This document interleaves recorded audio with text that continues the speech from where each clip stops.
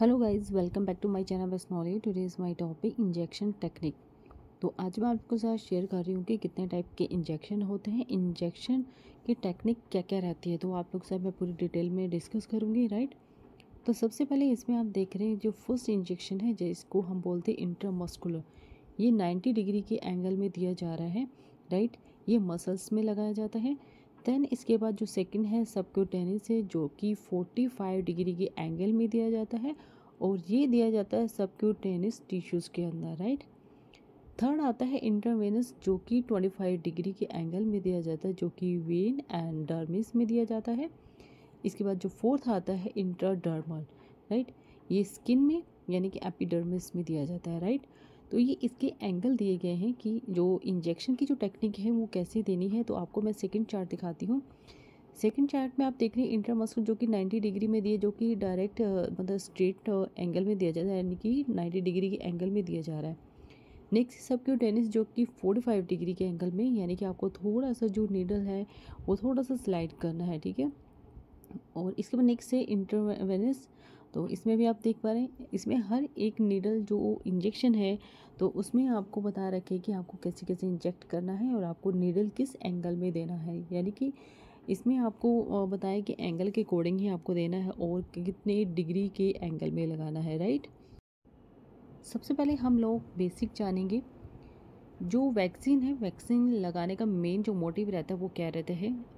जैसे कि जो पेशेंट है पेशेंट की बॉडी में एक नीडल के थ्रू से मेडिसिन इंजेक्ट की जाती है, ठीक है? और ये एक ऐसा तरीका यूज़ किया जाता है जिसमें डाइजेस्टिव सिस्टम से मेडिसिन देने के बजाय स्किन में नीडल डालकर जो पेशेंट है उसको मेडिसिन दी जाती है।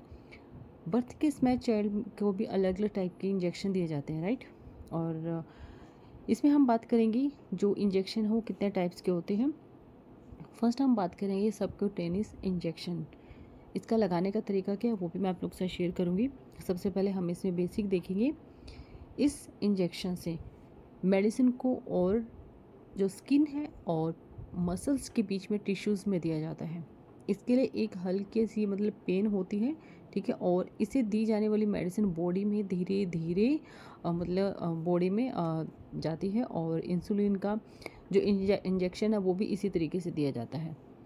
नेक्स्ट है इंट्रामस्कुलर इंजेक्शन इस जो इंजेक्शन से मेडिसिन को बॉडी के अंदर डीपली जो प्रेजेंट मसल्स में पहुँचाया जाता है, इसके लिए एक बिग नीडल का यूज़ किया जाता है, यानी कि एक बड़ी सुई का यूज़ किया जाता है, जो स्किन के अंदर गहराई तक जा सके।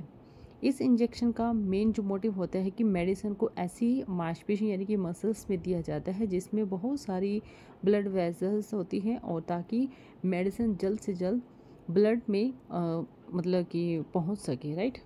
इसके बाद नेक्स्ट है इंट्राडर्मल इंजेक्शन। इस इंजेक्शन से मेडिसिन को स्किन की सेकंड जो लेयर में दिया जाता है इस लेयर को डर्मिस कहते हैं। इसके थ्रू से कई सारी डिज़ीज़ के जो वैक्सीन है वो भी दिए जाते हैं, जैसे कि एलर्जी का पता भी लगाया जाता है इससे।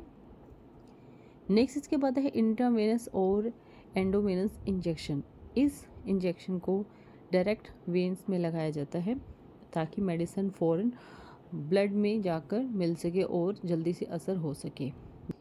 तो आज हमें बात क्या है कि इंजेक्शन की जो टेक्निक है वो लगाने का क्या तरीका है और कितने टाइप्स के इंजेक्शन होते हैं तो वही मैंने आप लोग से डिस्कस किया अगर आपको मेरी वीडियो पसंद आए तो प्लीज़ इस वीडियो को लाइक, शेयर एंड सब्सक्राइब ज़रूर कीजिए। And thank you for watching my video.